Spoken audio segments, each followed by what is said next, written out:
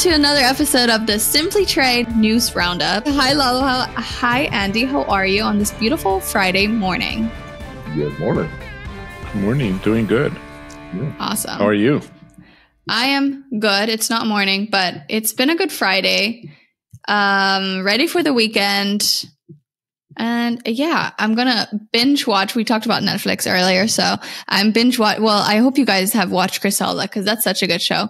But I'm binge watching The Queen of South this weekend, so I'm really excited. It's I started it and I can't get enough. Anyways, not much trade. Actually, there's a lot of trade going on in those in those episodes, but not in the right way. um, there's a lot of unfair business. And actually, going into the first article, okay, it's not that intense, but there's some unfair business going on that people are kind of getting bringing up to the table. So they're saying that um, the recent anti-dumping and countervailing duty petitions filed by the American Paper Plate Coalition against paper plates imports from China, Thailand, and Vietnam have brought attention to unfair trade practices in the paper plate industry. Um, seems like a tiny industry when you are a regular person, right? Because you just buy those paper plates off the store and maybe like what you buy those like once a year, maybe not not even all, at all. Um, but to them, this is a huge deal. So I kind of want to talk about it. So I have a question towards this. Actually, let me find it. Okay, here we go. So while you're doing um, that, let's just remind folks what we're talking. This is the National Law Review, and there's an allegation that the paper plate industry is uh, suffering due to paper plates being manufactured in China, Thailand, and Vietnam. So, are there any anticipated challenges or obstacles that exporters and importers of paper plates may face during this course of the investigation because i mean there's not a certain standpoint yet or i mean people have standpoints but there's not an outcome yet so during this inv- investigation what may exporters and importers do that are dealing with paper plates especially from those countries well the allegation is is that paper plates that are uh, manufactured again china uh, thailand and vietnam are being sold in the U.S. as they're being imported and sold in the U.S. below market value, and and, more specifically, the the idea is that it's it's a dumping uh, activity. So that the those goods are coming in and being sold for less than what it takes to manufacture those items is again the allegation. And so that's going through with uh, an investigation to take a look at it. And what the reason somebody would do that is they're trying to gain market share and hurt the, you know, if you will, the domestic business and, and put somebody out of business. Yeah, they definitely um, also mentioned, you said countervailing duties, Andy, but they also mentioned that they suspect that there's also um, uh, government aid to those manufacturers to allow them to dump this in the U.S. So it's not only going to be anti-dumping, but it's also going to be countervailing what they're seeking, and so that that's a lot more serious because countervailing is in the triple-digit percentage um, duties uh, versus you know 30 40 50 percent on the anti-dumping or whatever you know so so yeah that's that's uh that's gonna I mean, like Annik said, it sounds silly us talking about paper plates or whatever, but I mean, it, it actually, it actually expands to beyond that. You know, right now we're talking about paper plates, but it's, I mean, it's present in a lot of industries um, or commodities, let's say. Um, you know, so it goes on every day, and so it's just something to be aware of. If you're, if you're an importer, you think your product may not be subject to any anti-dumping or countervailing duties, but that may not be the case, especially when we have a client right now who's asking us about um, steel rope, uh, which is not even manufactured in the US, but the, unfortunately, the steel is subject to anti dumping. All right. And that's that for paper plates today, ladies and gents. Um, we're going to something, a positive outlook. Please, no one turn this into an, anything negative. Andy, I'm talking to you. Um, but anyways, so so this article says that IMF, which is the International Monetary Fund, right, says global soft landing inside lifts 2024 growth outlook. So ultimately, they were saying that um, they're obviously forecasting a soft landing and an uplifted growth outlook for 2024. The report cites stronger private and public spending, lower energy and commodity prices, and increased labor force participation as contributing factors to the positive forecast. Um, which sounds Awesome. Hello. We're here for it because that's exactly what we need. I know it's not all butterflies and rainbows out there though. And there's obviously such as they're also mentioning the Red Seas crisis and geopolitical tensions, which have been rising lately. And we've been talking about those a lot. So obviously nothing is all flowers and rainbows and everything, but, um, that is what the IMF said or has that's their outlook for 2024. So I just wanted to ask, um, since this is out there in the world, you know, this kind of growth outlook, um, what do people do? Um, like, do they strategize their pricing or like, are they going to adapt to things that I mean they're reading, you know, adapt their pricing, their strategies like with this kind of outlook or do you stay the same because obviously we're looking for change. And I know you have to look at the industry to adapt your changes, but what if you like I feel like there needs to be a certain start. And do you think there's there could be a start now or do you think it it still takes a little while for that to happen? I just don't like, you know, when these these folks are full of beans, a big bag of hot air or something. That said, I will also say that really I'm pretty optimistic. I'll go after Moby Dick in a rowboat and take the tartar sauce with me.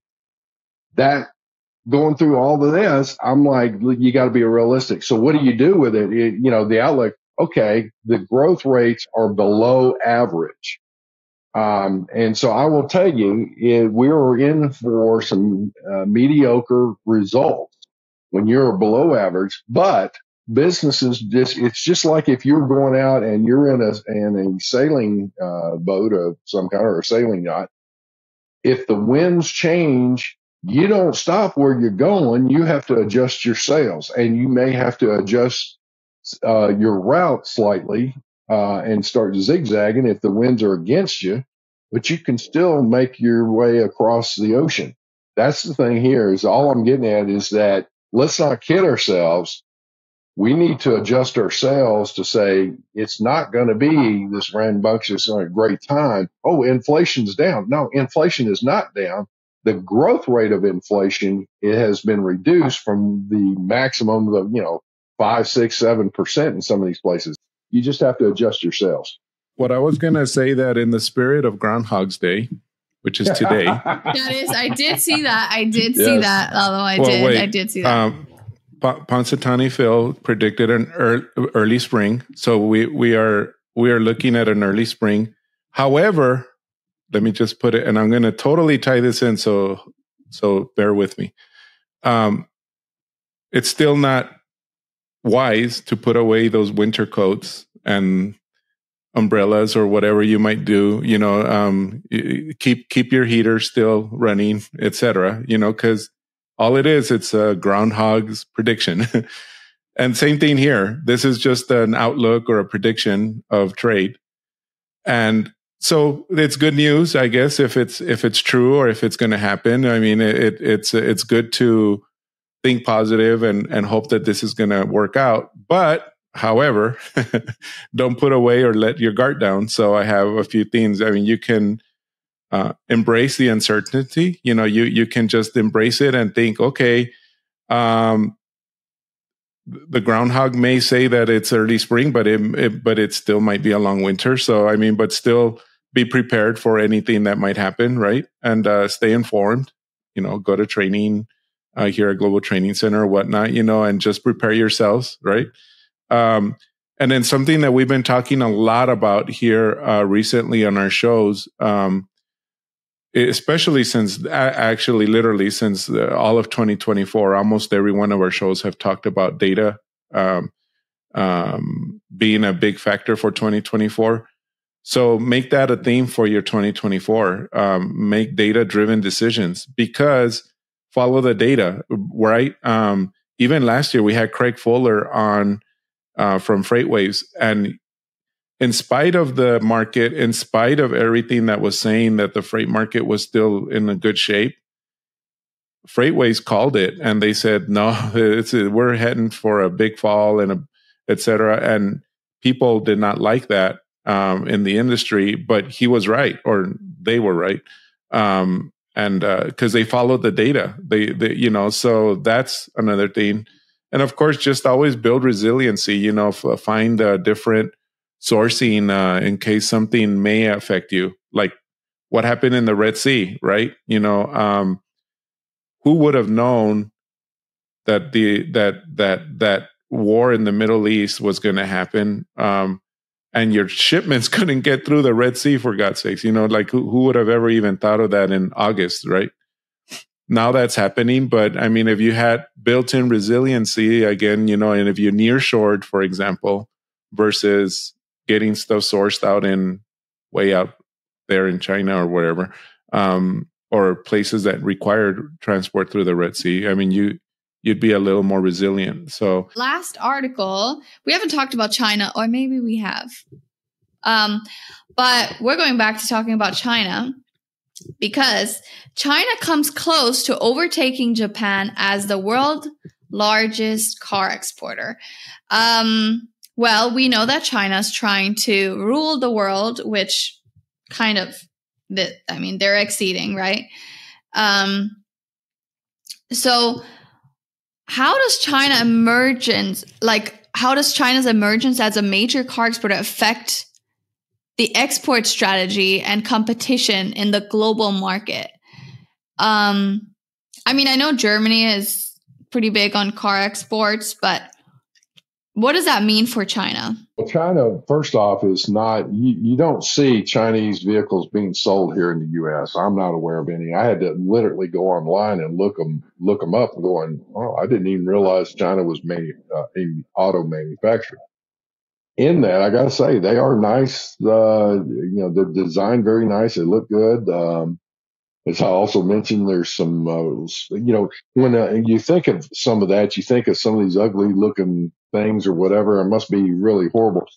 They're not. They're actually, you know, nice looking vehicles. I don't know about the quality and the uh, the the uh, longevity of the vehicles and, and whatnot, but the there's a few of those vehicles I said uh, they're like a biscuit that squatted to rise. It's just, uh, it just, they look like they've been smushed or whatever in the back end.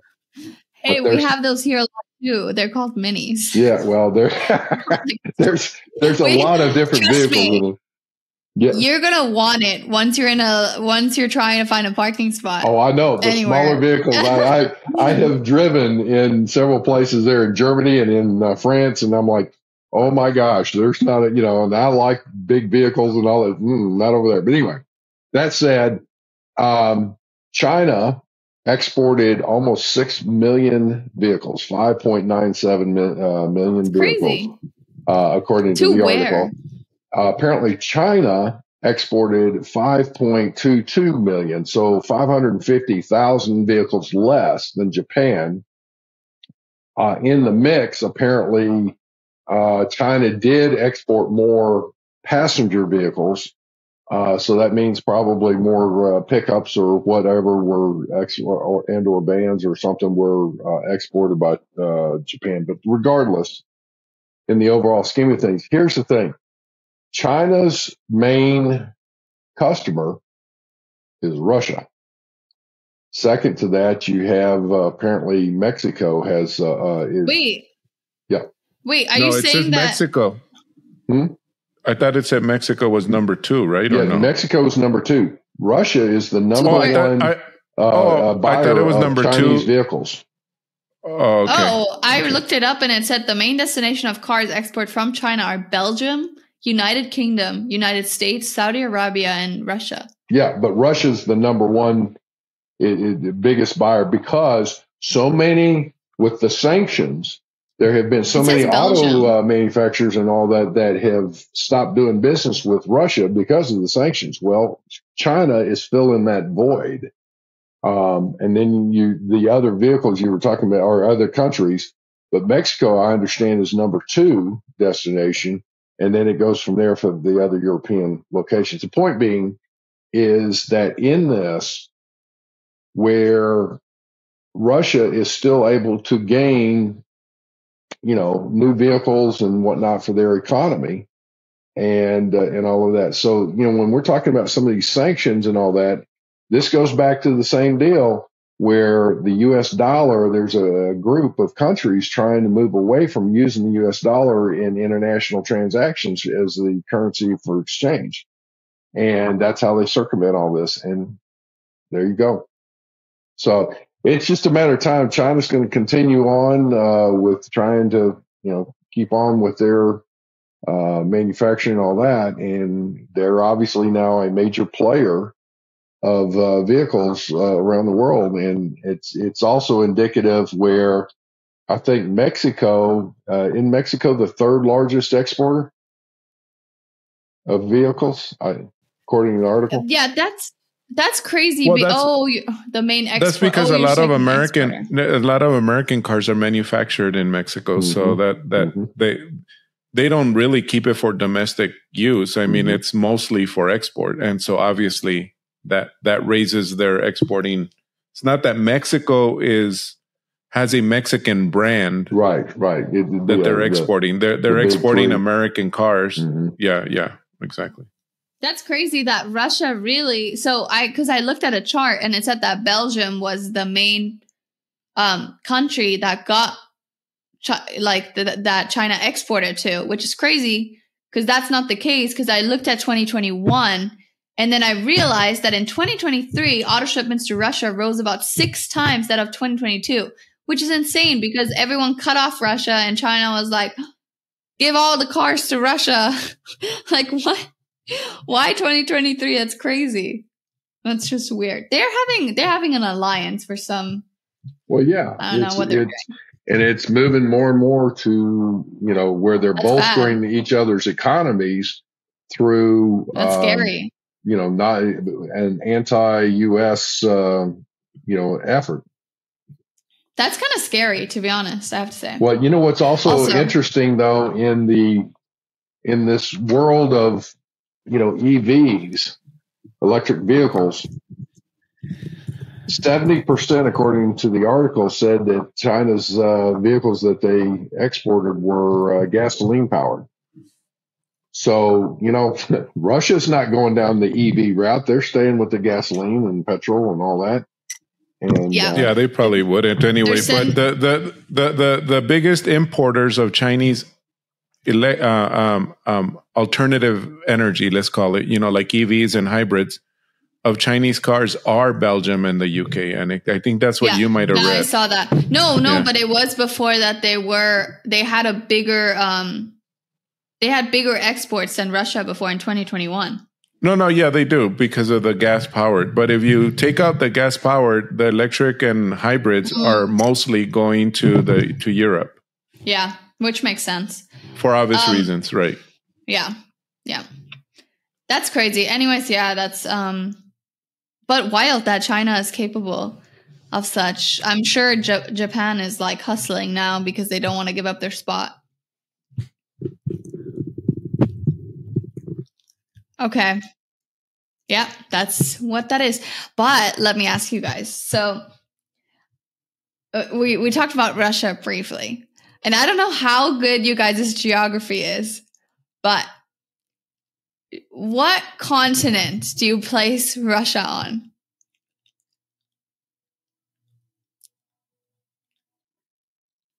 No. It's Europe. It's literally That's what I thought. I did not take it. I did not in my head put Russia in a European in the European continent, right? I did not. But it covers so, actually two sides of that. It? it does. It does, but mostly it is placed in the in the European continent following the United Nations classification. Isn't that crazy? Really? Yeah.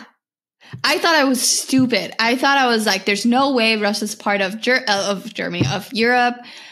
And I, so I looked it up because someone had said, "Yeah, I go to Europe a lot. You know, I'm from Russia," and I'm like, I didn't say anything because I was like, wait, maybe I'm just. Well, like Russia something. is next door to Europe and, and the Baltic states as well and, and all that. But I, I, mean, it covers. Yeah, but he said I go to Europe a lot. Like I, uh, I know he meant like he meant Russia part of Europe, and he was Russian.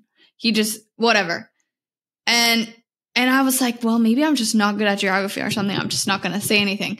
Went home, looked this up, immediately called my mom, and I was like, Mom, there's no way Russia's part of Europe. And so, and I looked it up, and it said that it is part of. It's that it stretches over Eastern Europe and Northern Asia. However, it is placed in the European continent following the United Nations classification. Well, that's interesting While only because much of its territory lies in Asia, but yeah. most of its people reside in Europe. Okay, well, so, that I can see that. That's where most of the population then is on the left, uh, the western part of Russia, which borders to what would be, you know, Euro- European, the eastern side of Europe. Yeah. yeah. Um, but I Crazy, would say huh? geographically, the majority of the landmass would be uh, northern Asia. Yeah, it is. Yeah, the territory lies mostly in Asia, but people live mostly in Europe, which is why I'm assuming that they consider themselves part of Europe. You know? Well, that's a little trivia Weird. fact, isn't it? Uh, it's I don't even like I don't want to consider Russia part of Europe. So Asia can have Russia. That's totally fine with all of us, I think. Um no, just kidding. We all want peace and if they want to be part of Europe, they can be. um but yeah, that's a little fact. Um if you have any other analysis, analogies, or whatever, please bring them our way. Um, we're happy to listen and especially towards our articles. So if you are part of anything that we've talked about or you know more about it, please reach out to us. You can do that email, um, LinkedIn. You can comment. Well, that's hard. You can comment on YouTube. So we're on YouTube now. So you can. I was going to say YouTube. Yeah, we're getting best. comments on YouTube. Yes, we're getting. But I mean, um, if you want to be private, do it at email. But YouTube, we see all of your comments, and um, we put most of our content up there too. Yeah, starting January one, we started. Every single episode has been on there. And then we have something called Trade Gems uh, in case anybody's interested. But Trade Gems takes a full episode and we only take out the gems of the of the episode. Like we might have seven, six, five, 10, 12, 15 minute pieces of the episode that are the biggest takeaways of the episode that you can use as your cliff notes, for example, of the episode. And if you want, you can later go back and listen to the full episode that's that for a Monday morning. And for us, it's a Friday, but for you, it's a Monday morning. Hopefully that you're listening right as it comes out. And we hope you have a great week. Um, let's hope that there's only good news, good news, tr- good trait news during the week. Um, anyways, had a great time. See you guys next week. Bye, Lalo and Andy. Bye bye. Bye, Andy. Thank you very much for joining us. Simply Trade is brought to you by the generous contributions of Global Training Center. You can follow the show and GTC on LinkedIn or Twitter and other social networks. Make sure you check out the show notes in the description for a full rundown of today's show with all the important links. Also, make sure that you share this with a friend and subscribe on your favorite streaming platform. We really like hearing from you. If you enjoyed the show, make sure to rate and review wherever you listen to this podcast. If you or someone you know would like to be a guest in the show or would like to sponsor Simply Trade or suggest any topic you would like for us to discuss, please contact us via email at simplytrade at globaltrainingcenter.com or You can DM us on Twitter at Simply Trade Pod. Thank you again for the privilege of your time. Happy trading. Simply Trade is not a law firm or an advisor. The topics and discussions conducted by Simply Trade hosts and guests should not be considered and is not intended to substitute legal advice. You should seek appropriate counsel for your own situations. These conversations and information are directed towards listeners in the United States for informational, educational, entertainment purposes only and should not be substituted for legal advice. No listener or viewer of this podcast should act or refrain from acting on the basis of information on this podcast without first seeking legal advice from counsel. Information on this podcast may not be up to date depending on the time of publishing and the time of viewership. The content of this posting is provided as is. No representations are made that the content is error free. The views expressed in or through this podcast are those of the individual speakers, not those of their respective employers or Global Training Center as a whole. All liability with respect to actions taken or not taken based on the contents of this podcast are hereby expressly disclaimed.